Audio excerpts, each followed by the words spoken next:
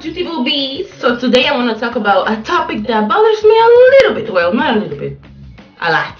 Okay, and it's, it's, some for some reason when I when I when I used to go to school, when I work, when I walk in the street or something, everybody treats me normal. But as soon as I open my mouth, as soon as I open my mouth, yes, there is always somebody that is gonna be like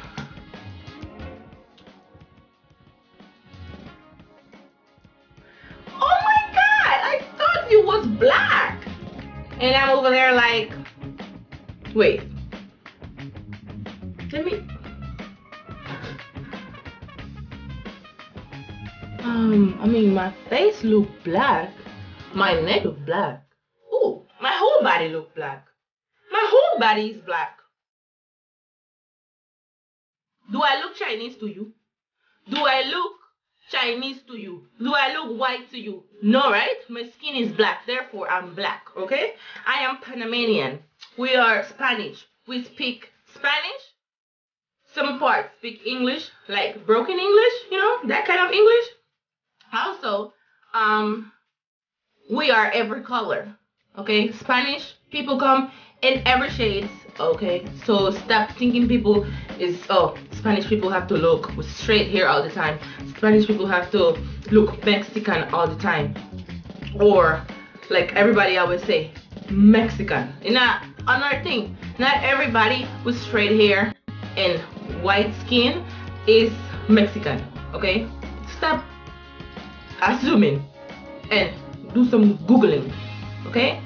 I am black and I'm happy, proud to be black. You know, I'm so proud of being black and Spanish and then people be like so you mix with black and spanish? I'm like no.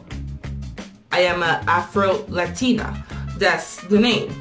Mm -hmm.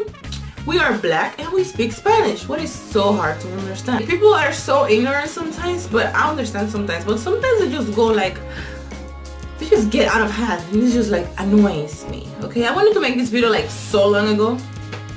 But i don't know. Today i had the time and the chance since I had to go to work, but I didn't have to go to work because of whatever. But anyways, I just wanted to bend. I needed to bend on YouTube. I haven't been on YouTube.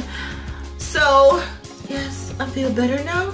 I'm free. Thank you for watching. Don't forget to like, comment, and subscribe. And comment down below. Tell me your life and comment down below. Tell me your experiences when somebody annoys you with your race or your um thing. Because I'm not I'm, the, I'm not the only one. So anyways,